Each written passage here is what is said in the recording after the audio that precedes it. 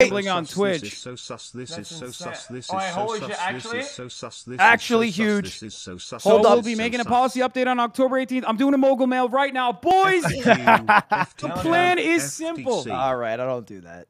Yeah, so we'll be making a policy update on October 18th to prohibit streaming of gambling sites that include slots, roulette, or dice games that aren't licensed either in the U.S. or other jurisdictions that provide sufficient consumer protection.